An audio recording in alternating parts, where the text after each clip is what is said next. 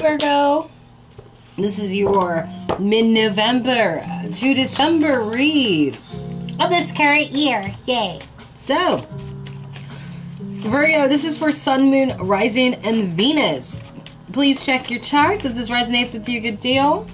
If not, don't worry about it. Just a card game, right? You just boop your nose and away it goes, right? Also, cross watch your switch where you need to because I have no idea what's going on in this stuff. I also like to cuss, so don't watch my shit if you if you're gonna get offended. You know, just saying. Mm. Newcomers. Want a personal read? Down in the description box below. Also, because I'm eating cheesy breads, that's why it's taking me so long to talk. Your first reading's on the house. Everything else comes with the price, of course, and I do take tips and donations. Thank you very kindly in advance. Okay, so. Virgo, you got justice. You might be dealing with a Libra. Or a Libra who feels like they're in the right. Some shit like that. And the situation's got the Queen of Cups here, where it's just like someone's feeding someone else some bullshit in order to feel comfortable or to have a place somewhere. It's like their intentions aren't true with this Queen of Cups. Might even be poison in that cup. You never know. Your wants and wishes is a Queen of Wands. Could be a Sagittarius, a Leo, or an Aries, right? Or maybe you just want to look good, you know. But your obstacle and challenge is this happy ending with this family and all this shit, right? It's just like, mm, I have these people who I'm taking care of. But damn, would it be good if I could be by my fucking self, you know? Fears and rejections, the lover's reverse. I, I think you're afraid of breaking up with someone, Virgo.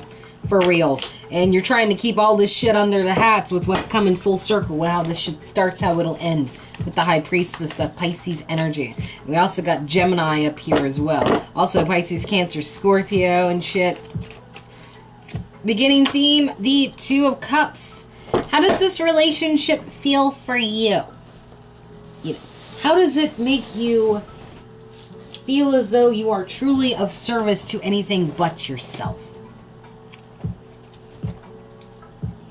Hmm. Within to ask that question, you also have to ask yourself what service can you provide in order to correct this? But, you know, if you're not in that energy to correct shit, hmm. So let's see what this justice card, Virgo. Because I think you want to feel justified, but you're, but the family is your blockage, and it's like you're afraid of separating. At the same time, I got these motherfuckers over here. You know. Ah, someone's afraid to face the devil. Could be Capricorn or Leo in this as well in order to explain that y'all just don't work the fuck out. It's like, um, how am I supposed to tell somebody I'm scared of that I don't want to deal with them anymore? I feel like you're afraid of getting intimidated, man, honestly. Like a great deal. Hmm. Situation with this Queen of Cups where someone's feeding bullshit. Yeah.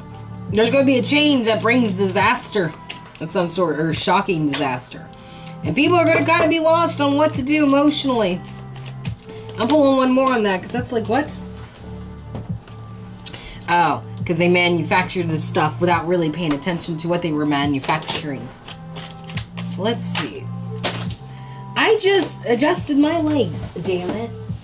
That's way too many cards. I'll read that stack, but not this stack. I hate when they fall on the floor like that, because then I gotta reach. I'm like, I'm not short, I'm just lazy. You know, someone left their turtle behind to just be like, hey, um, good times, but fuck you, you know?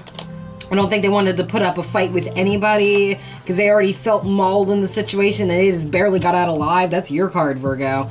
And at the moment, you're thinking about that rose and those two cups right there. Right?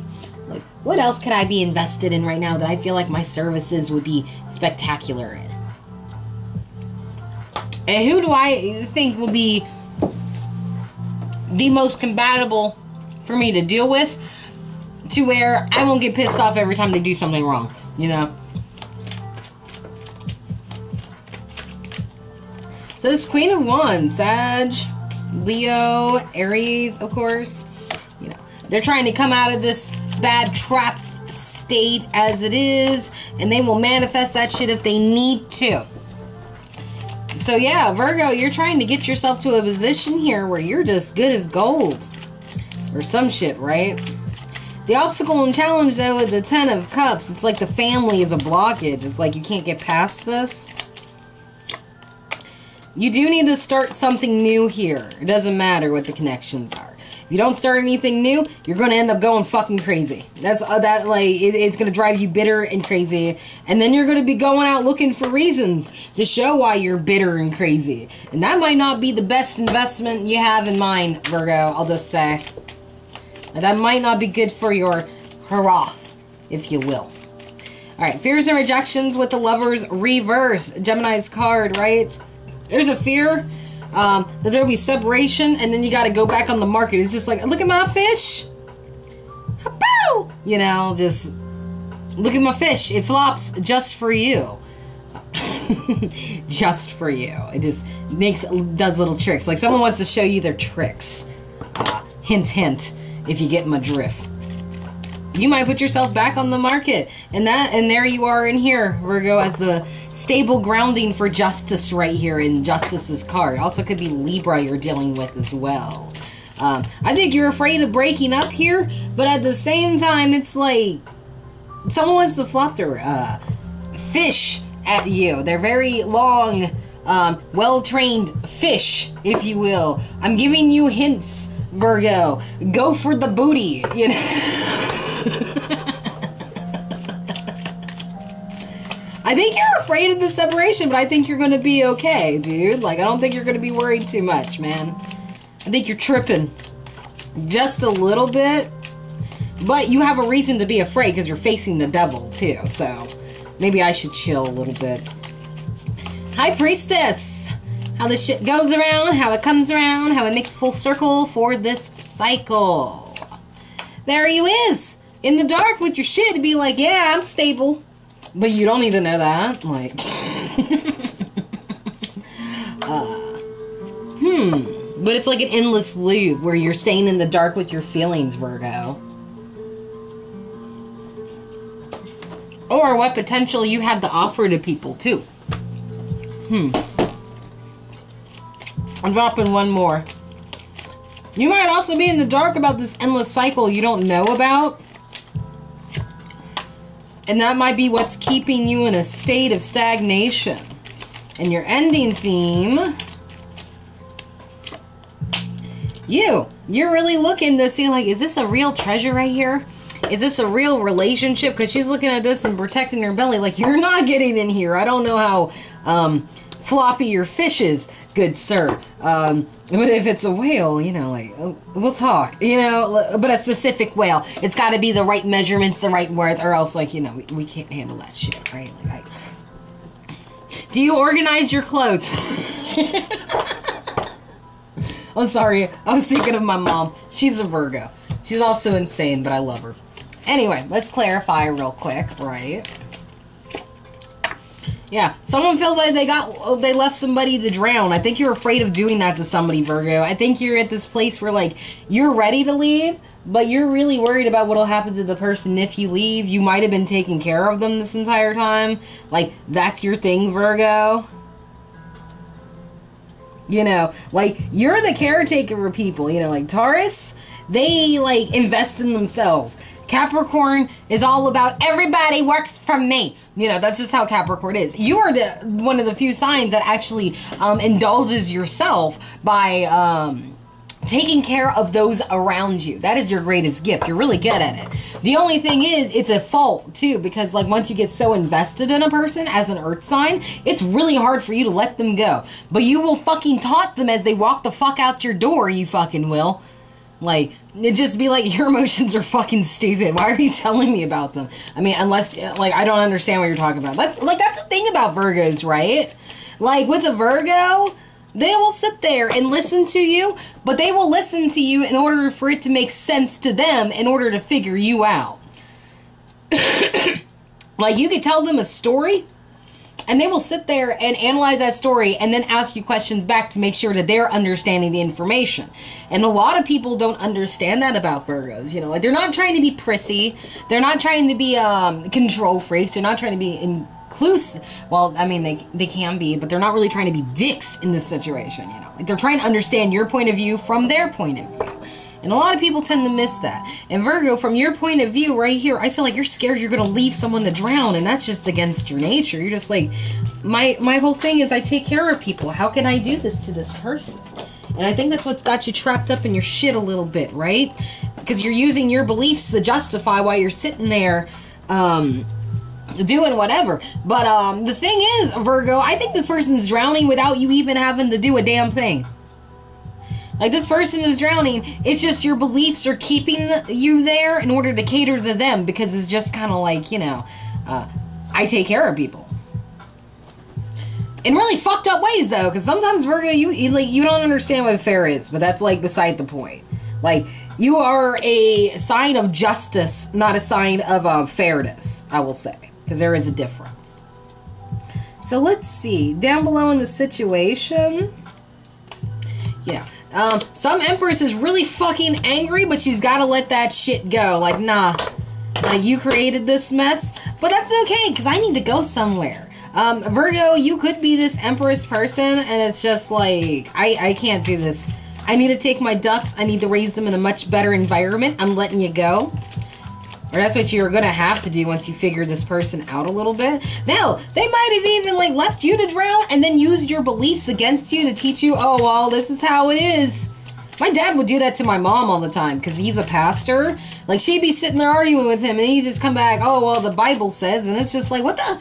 And my mom would just be like, "Okay, boomer, what the fuck? Does, what does the Bible have to do with anything? I'm asking you why you didn't fix the sink six years ago. You know." One of those things where it's just like it, it, just comes out of nowhere. It's just like, what does the Bible have to do with fixing my damn sink, bro?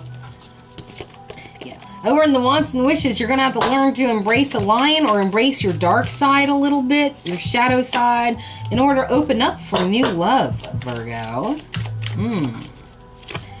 Down below in the obstacle and challenge, I think you're afraid to take a leap of faith because you can't see the bottom of the cliff or you're afraid you're going to end up like falling off a cliff with no extra ledge. And it's like you're trying to foresee that shit. It's like a prediction. It's intuition. It's just like, oh no, uh, no, no, no. But I don't think this is intuition as much as it is, um, Mmm. What am I trying to say? It's kind of like, uh, let's say you've been in like abusive relationships and then you end up in one that's not abusive period. Like maybe not even at all right? But it's still a shitty relationship because it's like the person doesn't take you into consideration. They don't value what you think what you say what you put in. And it's like because you're used to somebody treating you almost like you're nonsense. It's like it's hitting an instinct. You know, not necessarily an actual trigger, but it's like causing your instinct to kick in and be like, oh no, if I leave this situation, I'm going to get uh, screwed entirely. But that's not the fucking case. You're not taking a leap of faith because it's like you're recalling something that you're feeling out. It's like a hypervigilance, if you will. You feel hypervigilant in here and it's triggering stuff in in your head that's making you go like, "Oh, is this the same shit that happened all over again? Oh my god." And then like it's keeping you from taking a leap of faith because you're not looking at the cliff the way you should, Virgo. Or Crosswatcher, whichever one.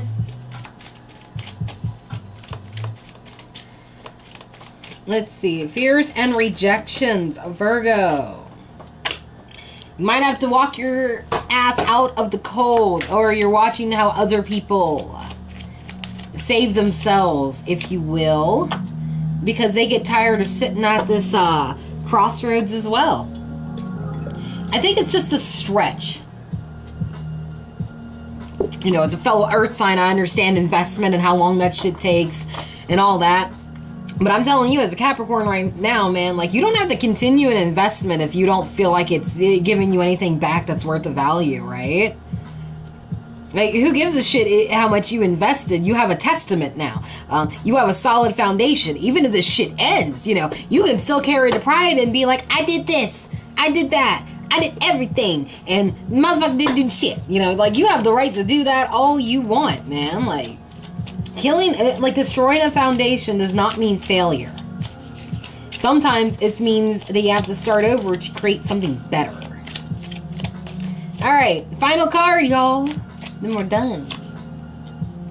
Yeah, like, you want to separate. Definitely Lover's Reverse. You're just like, uh.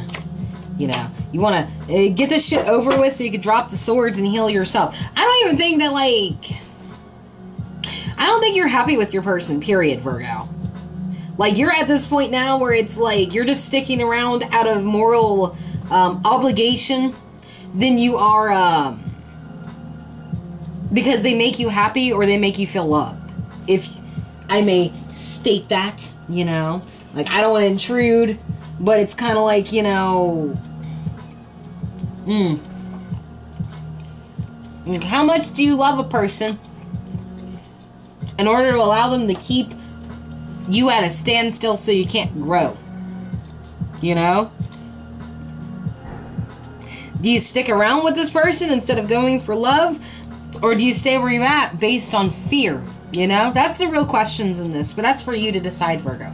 Other than that, we're done. So, if you enjoyed this reading, you may like, share, and subscribe as much as you would like.